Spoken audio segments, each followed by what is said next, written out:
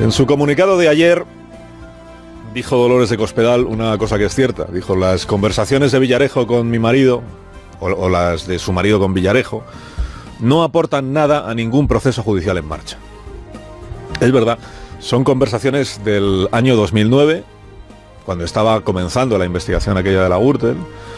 Son conversaciones del 2009 que conocemos ahora cuando ya se ha emitido, fíjense, la primera sentencia, las primeras sentencias condenatorias sobre el caso y cuando una de esas sentencias sirvió de palanca o de detonante para la moción de censura que apeó a Mariano Rajoy del gobierno y apeó de rebote a la propia Cospedal de la Secretaría General del Partido Popular.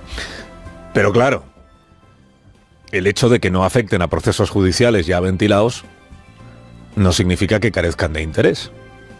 Porque es interesante saber qué se movió en la trastienda, en todas las trastiendas, en aquellas fechas y en las fechas siguientes y en las fechas anteriores y en los años siguientes a 2009 y lo que se pueda estar moviendo en la trastienda también a día de hoy.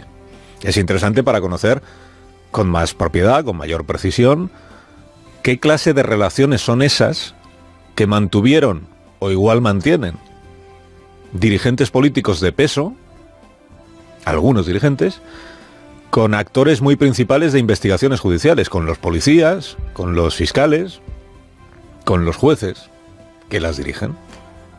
En su comunicado de ayer sostuvo Cospedal que en las conversaciones difundidas Villarejo contaba a un particular, su marido, el de ella, lo que él consideraba, lo que Villarejo consideraba que estaba ocurriendo en asuntos que afectaban a personas vinculadas al PP. Esta es la literalidad del comunicado de ayer, que es, por cierto, todo lo que Cospedal hasta este momento ha querido decir al respecto.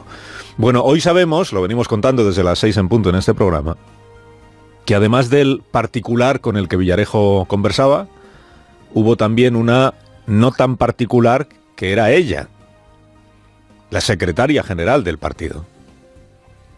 Al menos en una ocasión, fue ella quien habló directamente con Villarejo, cara a cara, mano a mano, en su despacho de la sede nacional del PP, sobre esos asuntos que afectaban a personas del partido. Esta es la noticia de hoy. La secretaria general conoció al comisario Pepe Villarejo en su despacho de Génova 13 en el mes de julio del año 2009, a donde acudió el policía con el arma más querida de este comisario, que es la grabadora. Perdón. ¿Qué tal? Encantada, encantada, muchas gracias. Eh, ¿Un café o algo? Sí, un. Este hombre le daba al rec a grabar mucho antes de verse con la persona a la que quería grabar. Por eso la cinta recoge desde el momento en el que están esperando a que Cospedal le reciba a López del Hierro, el marido, y a él, al comisario, hasta que termina esa reunión. Hasta ese día, Villarejo solo había tratado con López del Hierro, con el marido, que es quien hace de introductor para esta cita, es quien la organiza. Cita muy discreta, bueno, más que discreta, casi casi clandestina, porque es el señor López del Hierro, el marido de Cospedal, quien queda antes con el comisario Villarejo y le ofrece recogerle en un coche con las lunas tintadas y entrar a la sede del PP por el garaje, subir de ahí en el ascensor a la planta séptima para que nadie pueda verle.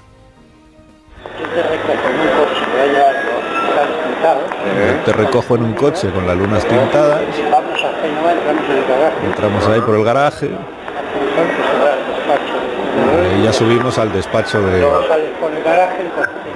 Estamos por el garaje, subimos arriba, no te ve nadie. Y esto es lo que hicieron en efecto, Esto es lo que hicieron. Entran por el garaje, suben a la planta donde tiene su despacho Cospedal. Tal es la obsesión del comisario, porque nadie le vea, que Cospedal le tranquiliza, explicándole que la planta está vacía, porque están de obras en la sede del PP, y que la planta solo la están utilizando Mariano y ella, y ese día Mariano no está. No, que no hay nadie ahora. Pues como estamos con el verano y esta planta está en obras, pues aquí no hay nadie, aquí estamos solo Mariano y yo. Y esta tarde, y ahora no está, o sea que no hay nadie. No te preocupes, yo no hay nada. tengo la suerte que ya soy muy mayor. Y, mucha, y mucha gente ya no me... Hay, hay, mucha gente ya que no me conoce. El empresario bromea, hay mucha gente que ya no se acuerda de la cara que tengo. Bueno, terminada esta cita, Cospedal pide a su secretaria que llame al ascensor para que puedan abandonar la sede de nuevo por el garaje y con la misma discreción. ¿De qué hablaron Cospedal y el comisario Villarejo? Continuará. La información la ha difundido esta mañana en moncloa.com, las grabaciones, el confidencial. Moncloa.com lo que todavía no difunde es lo que hay entre el encantada un cafelito y el llama al ascensor que se van. Lo que hay en medio es la conversación. Y está todo grabado también. Dice usted, ¿acabará saliendo? Pues ya, ya le digo yo que sí. Hoy el diario El País, que publica una información respecto eh, de esta reunión, hoy el diario El País lo que cuenta es que en esa conversación, no sé si el país tiene también la grabación de la... pero parece que información tiene. El país dice que Cospedal en esa conversación con Villarejo le pregunta qué información tiene la policía sobre Bárcenas, el tesorero del partido, y sobre otras personas del PP madrileño. Y Villarejo pues le cuenta, Villarejo le debió contar lo mismo que decía en la grabación de ayer hablando con López de Hierro, ¿no? que, que hay chicha en lo de Bárcenas, que hay más información de la que él cree. Bueno, una semana después de esta conversación, Bárcenas dimitió como tesorero del PP. A pesar de la resistencia que había puesto él mismo, con la bendición hasta ese momento de el Barba, o sea, del señor Rajoy. Y a partir de ese momento es cuando empieza la guerra entre Cospedal y Bárcenas. Bárcenas quejándose a Rajoy de que Cospedal no le defiende y todo aquello. Bueno, ayer dijo la señora Cospedal en el comunicado que la trascendencia que se le quiere dar a estas grabaciones lo que está buscando es cubrir el hecho de que personas del actual gobierno negaron hasta tres veces conocer al comisario Villarejo, cosa que ella no ha hecho. Se refería a la ministra Delgado, obviamente que tuvo que corregir, es verdad, su versión sobre el comisario. La ministra Delgado, de quien dijo Rafa Hernando, portavoz, eh, ex portavoz del Partido Popular en el Congreso, que la ministra era rehén de sus relaciones con las cloacas. Es probable que a Villarejo no le haya agradado mucho escuchar a dirigentes del PP refiriéndose a él como las cloacas, viendo ahora la relación que tenía con algunos altos cargos del partido. Defina usted relaciones y defina usted cloacas, claro. Bueno, aquí el asunto, nueve años después, no es si uno o una, en este caso, conocía a Villarejo, porque a este señor al final le conocía a medio Madrid, por lo que se va sabiendo, ¿no? Sino cuánto se le conocía, cuánto se le trataba y con qué intención se cultivaba la relación con Villarejo. No hay mayor problema en invitar a un café a un comisario, a un funcionario de policía que quiere charlar contigo. Hombre, sí empieza a verlo si la intención de quien recibe al comisario es obtener información confidencial de investigaciones judiciales que afectan a su partido, sabiendo que ese comisario que facilita la información incumpliendo sus obligaciones de preservar la confidencialidad va a querer obtener algo a cambio de facilitarla. Y sería interesante saber si además de este contacto-contacto de julio del año 2009, cuando Cospedal conoce a Villarejo, si después de eso hubo más o no. Tanto la comida del Riancho como esto de López del Hierro y de Cospedal es de hace nueve años. Pero luego los años, claro, han ido pasando y el comisario ha seguido en activo y con la grabadora todo el tiempo en el 2009, en el 2010, en el 2011, en el 2012. Al menos siete años más grabando, negociando, investigando y reuniéndose con gente importante. Ayer nos preguntábamos aquí a esta hora, es que hay otra información hoy en Voz Populi que dice que Villarejo se enemista en el año 93 con el Ministerio de Interior porque le deben, dice él, 80 millones de los fondos reservados que le habían prometido darle por haber espiado, pinchado el teléfono a Jesús Cacho y a Pedro J. Ramírez.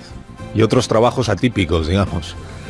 Que como le deben dinero, él avisa de que deberían saldar cuanto antes esa deuda. En fin, cosas que van a seguir saliendo. Ayer nos preguntábamos aquí hasta ahora, usted se acordará, ¿cómo reaccionarían el PP y el PSOE a la nueva entrega de las grabaciones?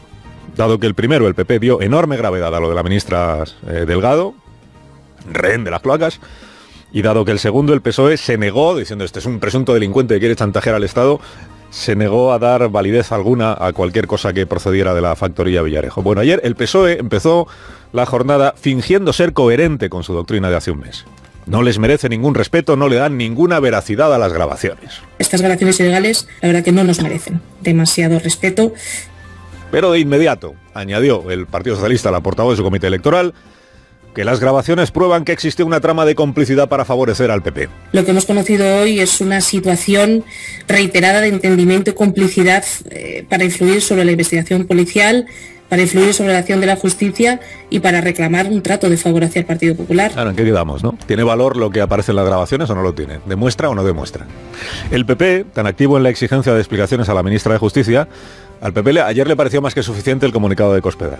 Fíjense que el PP ayer podía, el PP de Pablo Casado, podía haberse limitado ayer a decir, oiga, esto del marido de Cospedal, que lo explique el marido, que lo explique Cospedal. El nuevo equipo de Génova es tan nuevo, tan nuevo que casi no había nacido en 2009, bla, bla, bla, ya sabe usted, eran otros tiempos. Nosotros nos remitimos al comunicado que ha hecho público la señora Cospedal y realmente no estamos ni mínimamente preocupados por las grabaciones del señor Villarejo ni las eh, supuestas revelaciones. Pero cayó en la tentación la portavoz del PP ayer, la señora González, de añadir que si estas grabaciones salen ahora, atención, es para eclipsar que la Fiscalía presentó sus conclusiones en el juicio de los ERE. ¿Cómo no lo habíamos pensado? Cuando la Fiscalía Anticorrupción ha decidido mantener la petición de penas de seis años de cárcel para José Antonio Griñán y de diez años de inhabilitación para Manuel Chávez, se tenga conocimiento de estas eh, grabaciones supuestas, tenemos la sensación de que existe una coincidencia entre una noticia y otra. Una coincidencia. Porque ayer la Fiscalía confirmó sus conclusiones sobre Chávez y Griñán, en efecto, ha mantenido el criterio que ya tenía la Fiscalía. Para Chávez, inhabilitación por malversación, para Griñán por eh, prevaricación, para Griñán además la malversación. Mantiene el criterio, la, la noticia habría sido que la Fiscalía cambiara el criterio. Terminado el juicio, mantiene las acusaciones. Cuando en la búsqueda de un salvavidas se recurre a esto tan manido de la cortina de humo, la jugada suele salir regular porque al día siguiente te sacan toda la parrafada de Villarejo y Cospedal en su despacho y no hay fiscalía de los ERE que te sirva como el pulpo de animal de compañía.